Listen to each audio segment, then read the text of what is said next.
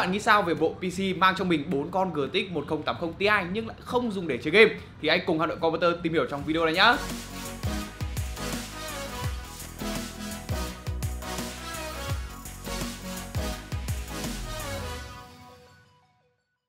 Đầu tiên chúng ta sẽ cùng điểm qua một chút về cấu hình của bộ PC đang nằm ngay sau lưng mình đây. Về CPU thì nó đang sử dụng bộ vi xử lý Xeon E5 2660V4 và về mặt xung nhịp thì nó không phải là quá nổi bật bởi vì nó chỉ từ 2.0 cho tới 3.2 GHz.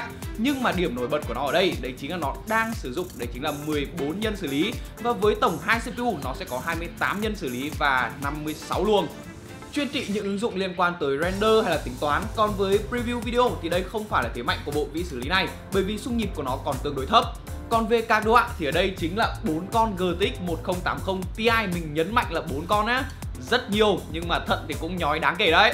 Đến đây thì chắc sẽ có nhiều bạn thắc mắc đấy chính là tại sao mình đang cắm 4 con GTX 1080 Ti nhưng lại không dùng đến cầu SLI thì khi các bạn sử dụng những ứng dụng liên quan tới render hay là tính toán, hay là một số phần mềm liên quan tới làm việc thì sẽ không cần đến cầu SLI với 4 con GTX 1080 Ti sẽ cho chúng ta khoảng tầm hơn 14.000 nhân CUDA Cùng với đó là băng thông của RAM GDDR5X cực kỳ lớn, nó sẽ support rất nhiều khi các bạn làm việc thì nó sẽ cho hiệu năng làm việc phải nói là cực kỳ khủng khiếp. Và tới đây các bạn có thắc mắc đấy chính là tại sao mình không dùng bốn con Quadro P4000 hay là một con Quadro P6000 không? Về lý do thì mình sẽ nói sau và kèm theo đó nữa là một lô, một lốc những linh kiện thuộc hàng khủng Ví dụ như là bom máy chủ Asus Z10PE rồi là 64GB EEC có thể tự sửa lỗi phát sinh rồi SSD là điều đương nhiên rồi và để gánh được một tấn linh kiện khủng như thế này, thì bộ PC này đã phải sử dụng hai bộ nguồn công suất 1000W là Seasonic Prime 1000 Gold. Rồi để chứa đống linh kiện khủng này nữa, thì vỏ cây cũng phải là loại siêu rộng rãi như là Corsair 900D nhưng mà lại có quá nhiều linh kiện sinh nhiệt như thế này, tận 2 CPU và 4 GPU thì tản nhiệt khí ở ngay bên trong một chiếc vỏ cây như thế này sẽ khá là đuối. Mà nếu như muốn nó hiệu quả thì nó cũng sẽ tương đối lâu nào đấy. Thế nên giải pháp được lựa chọn ở đây, đấy chính là một hệ thống tản nhiệt nước full của EK danh tiếng đảm bảo cho cả hệ thống luôn mát mẻ và độ ồn thì nằm trong ngưỡng chấp nhận được. Mình đã thử cho full load cả CPU và GPU bằng Intel Burn Test cũng như là Optane Benchmark thì nhiệt độ của CPU tối đa cũng chỉ khoảng tầm hơn 50 độ, còn GPU là khoảng tầm 42 tới 43 độ. Sau khi nghe qua cấu hình của bộ PC này thì các bạn thử đoán xem là nó được dùng để làm gì. 3 2 1 thì đáp án ở đây chính là nó được sinh ra để phục vụ cho trí thông minh nhân tạo hai CPU Xeon E5 2660V4 28 nhân 56 luồng xử lý cho chúng ta một năng lực tính toán phải gọi là tuyệt vời để tăng thêm hiệu năng tính toán nữa thì đấy chính là 4 chiếc GTX 1080 Ti với lượng nhân CUDA phải nói là cực kỳ khủng cũng như là băng thông RAM khủng khiếp, cho năng lực tính toán còn khủng hơn nữa và tất cả những linh kiện đi kèm đều là thuộc loại ổn định nhất hiện nay, giúp cho hệ thống có thể hoạt động liên tục trong thời gian dài mà ít phát sinh lỗi ít nhất có thể. Tổng kết lại với một cấu hình như thế này thì nó quá là phù hợp cho việc chúng ta xử lý về trí thông minh nhân tạo.